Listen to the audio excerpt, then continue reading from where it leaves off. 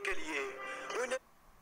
Previously on Wither Storm Wither Storm धीरे धीरे पूरी दुनिया को खाते जा रहा था। उसे रोकने के लिए उन्हें इस दुनिया का सबसे शक्तिशाली टीएनटी द फॉर्मिडी बॉम्ब की तलाश थी जिसकी खोज उन्हें सोरेन के बेस पर पहुँचा देती है।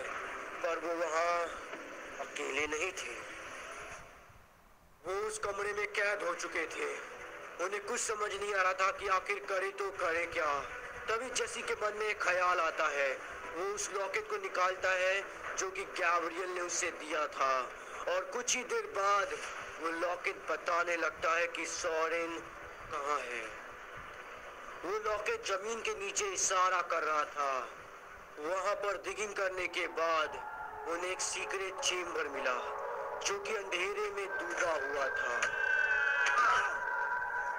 वो अंधेरी गलियों में आगे बढ़ते हैं और कुछ कदम आगे चले ही थे कि वो एक अजीब सी जगह पर पहुँच जाते हैं।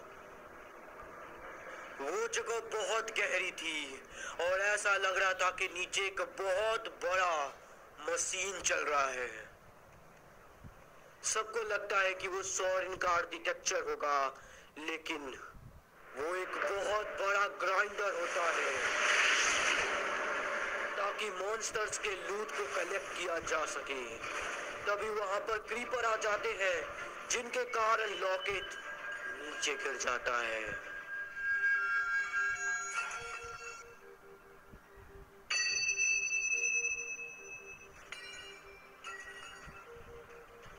उस लॉकेट के बिना हम सोरेन को नहीं ढूंढ पाएँगे, और इतना कहते ही वो वहाँ से जंप लगा देते हैं। रास्ते में काफ़ी सारे मॉन्स्टर्स का सामना करने के बाद उन्हें लॉकेट मिल ही जाता है। लेकिन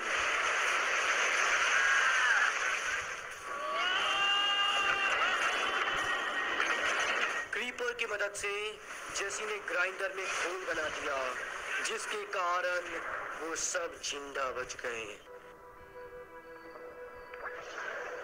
लेकिन उनके आसपास लगे मशीनों ने एक एक करके उन्हें अपने अंदर खींच लिया।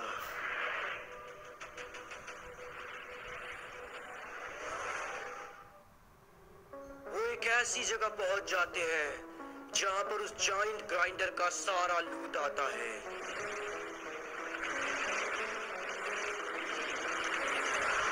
वो सब ज़िंदा और सही सलामत थे ल्यूकस को छोड़कर। बेचारा उसके ऊपर छोटा हाथी गिर गया। वो अपना होश संभाल ही रहे थे कि ऊपर से कुछ आवाज़ ही आता है। उस होद के कारण सारे के सारे मॉन्स्टर्स ज़िंदा बच गए और वो नीचे आकर जेसी और उसके दोस्तों पर अटैक कर देते हैं। वो बहुत कोशिश करते हैं उन्हें रोकने की, लेकिन उनकी संख्या बहुत ज़्यादा थी। भागते भागते हुए कैसे कमरे में पहुँच जाते हैं जहाँ पर एक एंड पोर्टल था। हालात खराब होते हुए देख वो उसमें जंप लगा देते हैं। वो सब उस खौफनाक डायमेंशन में पहुँच जाते हैं, जिसके सिर्फ़ नाम से ही लोग काँप उठते थे। और ये बात उन्हें काफ़ी जल्दी मालूम चल गई। हर तरफ़ एंडरमैन घूम रहे थे।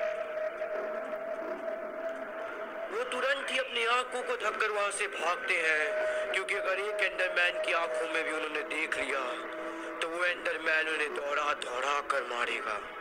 जैसी वो लॉकेट वापस निकालता है, ताकि वो सॉरिन को ढूंढ सके, लेकिन एंड में वो लॉकेट काम ही नहीं कर रहा था।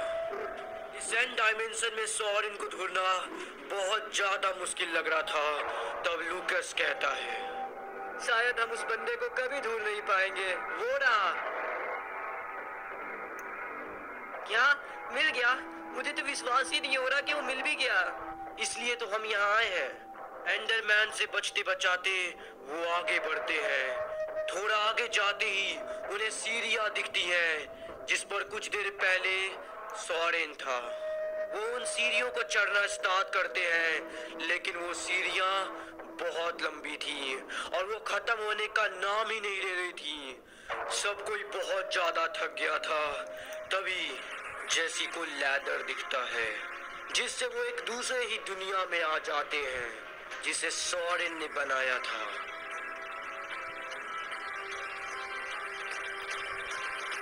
यह हर चीज़ रंग बिरंगे उल से बनी रहती है, लेकिन इतना बड़ा बिल्डर आखिर ऐसी छोटी मोटी बचकानी चीज़ें क्यों बनाएगा?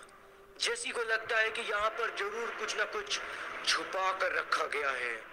कोई चीज़ या फिर कोई दरवाज़ा। उस जगह पे उसे काफ़ी सारे लीवर दिखते हैं। और जैसे जैसे वो लीवर्स ऑन करते जा रहा था, वैसे वैसे लैंप ऑन होते जा रहे थे।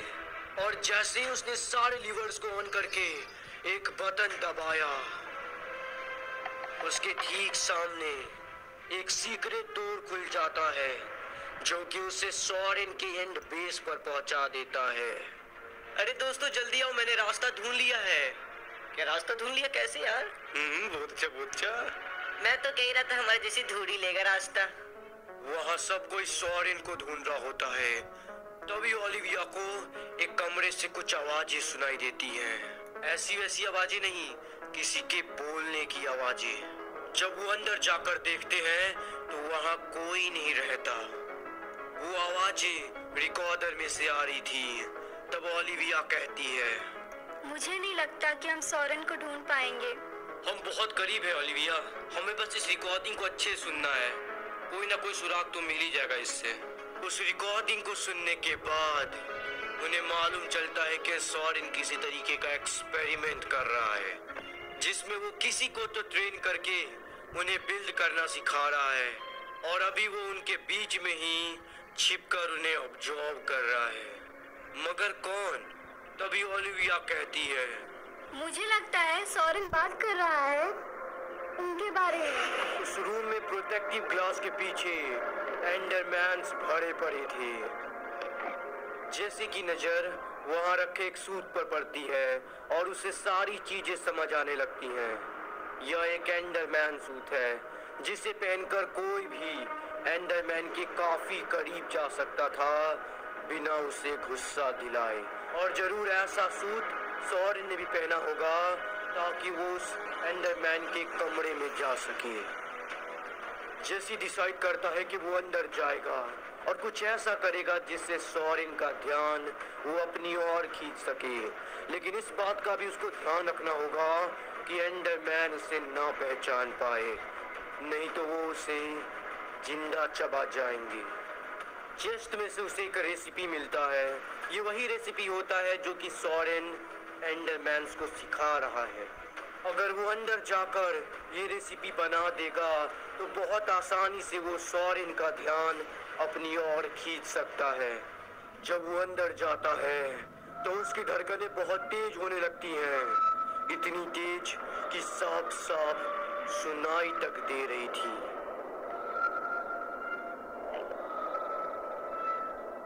उसे बहुत डर भी लग रहा था, लेकिन उसने अपने डर को हावी होने नहीं दिया। उस रेसिपी को बनाने के लिए उसे छह ब्लॉक की ज़रूरत थी, जिसमें से पाँच ब्लॉक तो उसे रूम में ही मिल गए थे। लेकिन अभी भी एक की कमी थी। तभी उसे कैंडरमैन दिखता है, जिसके पास एक क्ले ब्लॉक था। वो उसका क्ले ब्लॉक धीरे धीरे से लेने की कोशिश करता है। और वो उसमें कामयाब भी होता है। लेकिन ऐसा लगता है कि वो एंडरमैन थोड़ा बहुत गुस्सा हो गया है। उस पर ज़्यादा ध्यान ना देते हुए वो आगे बढ़ता है और उस रेसिपी को बना देता है। लेकिन सारे एंडरमैन पहचान जाते हैं कि वो कोई बहरूपिया है और वो उसके पास आने लगते हैं उस पर अटैक करने के लिए। तभी उसको पीछे से एक आवाज़ आती है। मुझे माफ़ करना, लेकिन इसे असली दिखना होगा।